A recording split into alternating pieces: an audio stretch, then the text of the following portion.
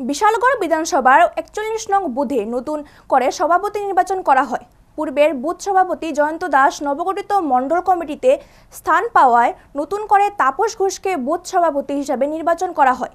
এছাড়াও এদিন বিজেপি মণ্ডলের সভাপতি সহ মিডিয়া ইনচার্জ ও শক্তি কেন্দ্র ইনচার্জকে বুথ কমিটির পক্ষ থেকে সংবর্ধনা প্রদান করা হয়।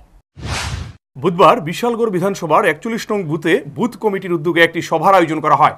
উক্ত সভায় বিশালগড় বিজেপি মণ্ডলের নবনির্বাচিত সভাপতি সুশান্ত দেব, মিডিয়া ইনচার্জ জয়ন্ত দাস এবং শক্তি কেন্দ্র ইনচার্জ শ্যামল দেবনাথকে বুথ কমিটির পক্ষ থেকে সম্বর্ধনা দেওয়া হয়। এছাড়াও এদিন এই একচল্লিশ নং বুথের নতুন সভাপতি হিসাবে তাপস ঘোষকে নির্বাচিত করা হয়।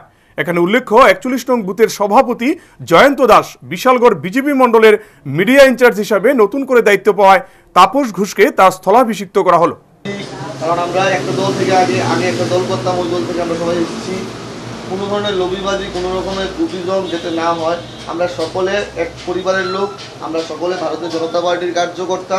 আমি আশা রাখব আমাদের সভাপতি থেকেও এবং আপনাদের সকলে, সকল কার্যকর্তা পৃষ্ঠপোষকদের থেকে আমি আশা রাখব সকলে একাট্টা হয়ে, একত্রিত হয়ে সকলকে নিয়ে, কোনো ধরনের ভেদাভেদ ভুলে সকলকে নিয়ে আপনারা আগামী দিনে এই বুথে ভারতীয় জনতা পার্টির সংগঠনকে মজবুত করবেন।